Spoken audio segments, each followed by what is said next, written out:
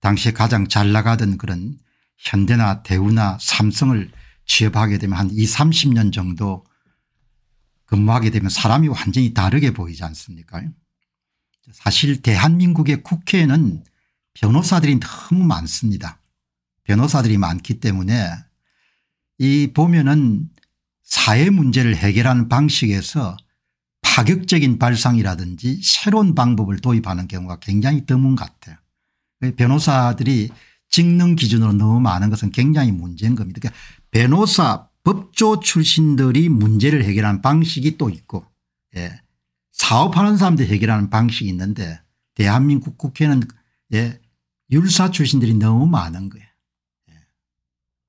자, 이 보시게 되면은 오늘 아주 이거는 그냥 흥미로운 이런 이야기를 한번 받아들이시면 좋겠는데 현재 이제 자동차가 계속해서 이 기계 장치에서 컴퓨터 장치로 지금 변해가지 않습니까 변해가기 때문에 기계 장치에 익숙한 사람들이 문제를 해결하는 방식하고 그다음에 컴퓨터에 이런 익숙한 소프트웨어의 여러분들 문제 해결 방식을 다루는 사람이 완전히 다르죠. 그래서 현대 기아 자동차 내부의 문제지만 한번 우리가 흥미롭게 볼 필요가 있는 것이죠.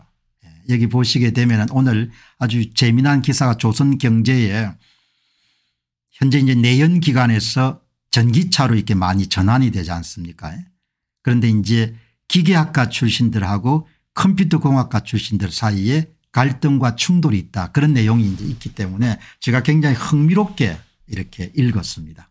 예, 이런 경우는 자주 발생하게 되거든요.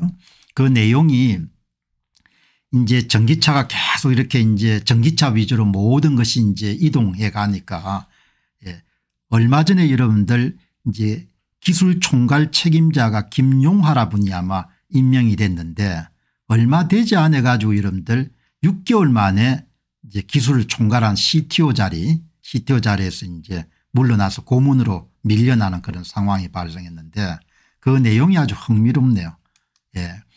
그룹 안팎에 따르면 소프트웨어 개발을 둘러싼 혼선에 대한 책임을 물은 건데 지난 반세기 현대차 그룹을 성장시킨 내연기관차는 엔진 배수, 변속기 성능이 핵심 경쟁력이었고 미래 자동차는 수백 개 반도체를 기반으로 소프트웨어가 달리게 하는 컴퓨터에 가깝다.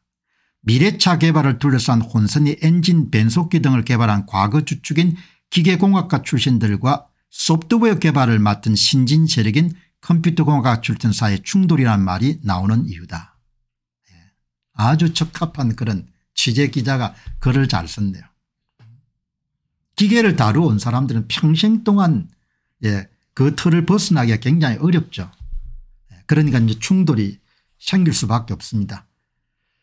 여러분 겉으로 드러나지 않았지만 저는 이제 기업의 사사 뭐 30년사 50년사 이런 것을 집필해 본 경험이 좀 있는데 참 여러분들 한국이 오늘까지 오게 된 데는 엔지니어 출신들이 참 큰 기여를 했습니다. 예, 표나지 않았지만 그래서 나는 국회 같은 데도 공학도들이 좀 많이 포진이 되면은 문제 해결 방식이 많이 달라질 겁니다.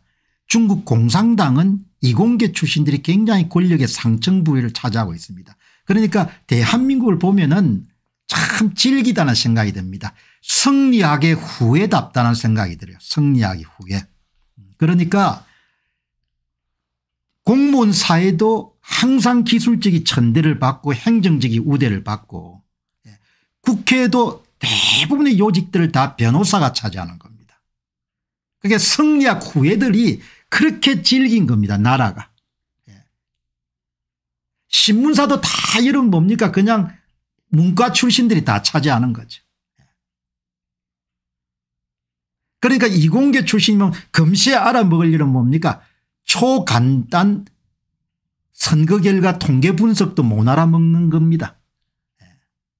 그 어떻게 이렇게 세상이 안 바뀌었을까 기업들은 다르죠. 왜 그런가 기업들은 문과 출신을 우대하게 되면 기업이 망하니까 그 망하지 않기 위해서 이공대 출신들을 우대할 수밖에 없지만 공무원 조직에서 어마어마한 기술직들은 천대를 받습니다. 행정직들이 대부분 뭡니까 자리를 다 차지하는 거죠.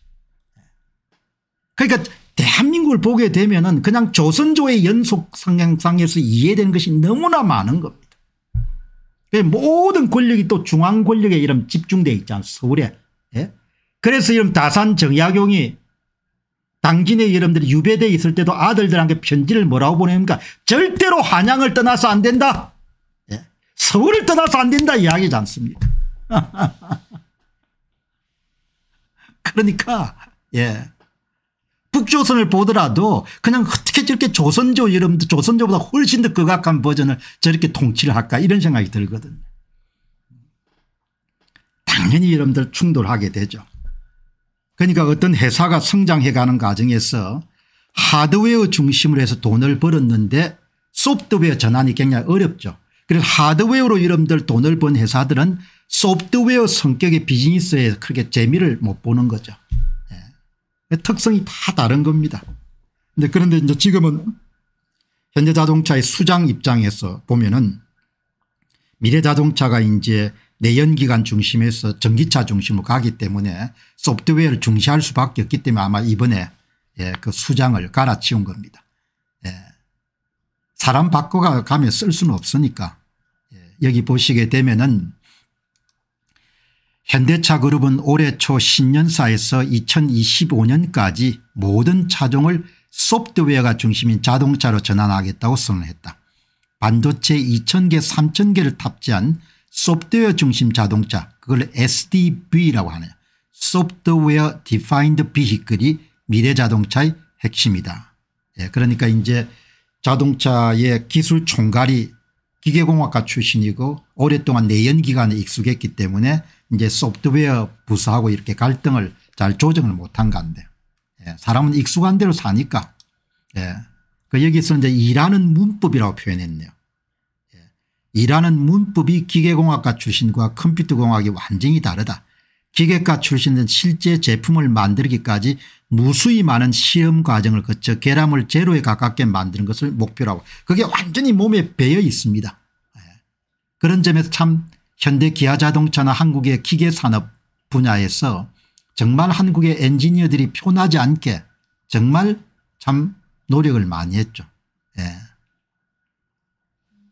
부품 회사들의 이름들 기업 역사를 그렇게 정리해 보게 되면 참 가슴이 뭉클할 정도로 한국의 엔지니어들의 발 기여에 대한 부분에 감사함을 표현할 때가 있는 거죠. 예. 그런데 이제 컴퓨터 공학 출신들은 제 기능을 하기만 하면 작은 오류는 불가피하기 때문에 계속해서 오류를 고쳐가면서 문제 해결해야 된다.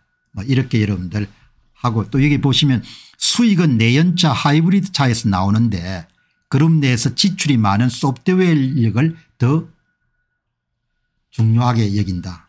이렇게 여러분들 그래서 어떤 회사가 수익이 많이 만들어내는 기존 부서에서 새로운 비즈니스를 일으키기가 쉽지가 않죠. 그죠? 네. 그런 일들이 이번에 현대 기아 자동차에서 발생한 기계공학과 내연차에 익숙한 분들하고 소프트웨어에 익숙한 분들 사이의 갈등을 보면서 예, 우리가 흔히 관찰할 수 있는 그런 결과다 이렇게 볼 수가 있을 것 같습니다.